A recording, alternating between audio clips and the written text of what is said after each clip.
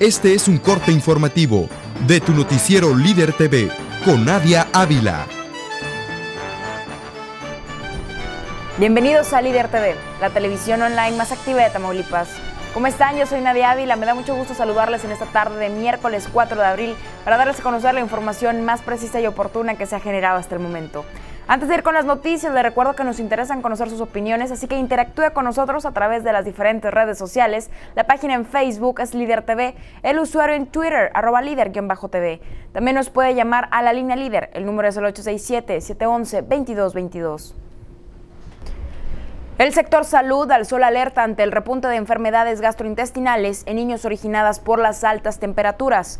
El director del Hospital Infantil, Carlos Morris Garza, informó que empezaron a elevarse las cifras de enfermedades gastrointestinales. De hecho, ya han llegado 70 casos, no por deshidratación, sino de cuadros diarreicos agudos, de los cuales solo 7 han tenido que ser hospitalizados.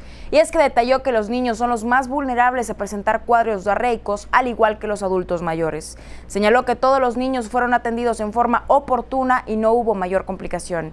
Cabe hacer mención de que de manera general las infecciones gastrointestinales aumentaron en un 10% en la última semana debido a las temperaturas altas, por lo que se hace la exhortación a que todos tengan extremo cuidado de los niños y de los adultos mayores para evitar alguna complicación.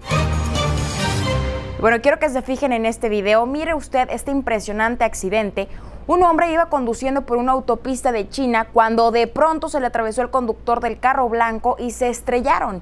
El automóvil blanco dio volteretas y el conductor salió disparado por no conducir con el cinturón de seguridad. El automóvil negro se estrelló en el muro de contención. Es por eso que en estas vacaciones haga conciencia de revisar bien su auto, respete las señales al conducir y por favor utilice el cinturón de seguridad para evitar eh, desenlaces como el que estamos viendo. Esta es la información más oportuna que se ha generado hasta esta tarde de miércoles 4 de abril.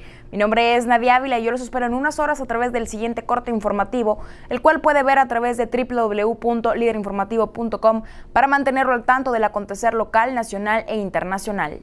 Esto es Líder TV, la televisión online más activa de Tamaulipas. Hasta entonces.